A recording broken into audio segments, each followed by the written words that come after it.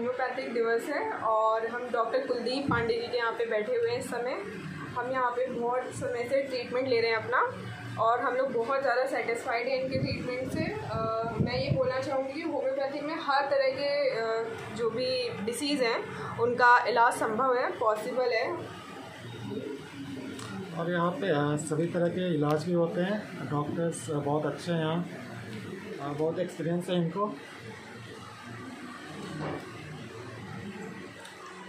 और यहाँ पे कोरोना के भी वैक्सीन मिल जाती है ट्रीटमेंट हो जाता है।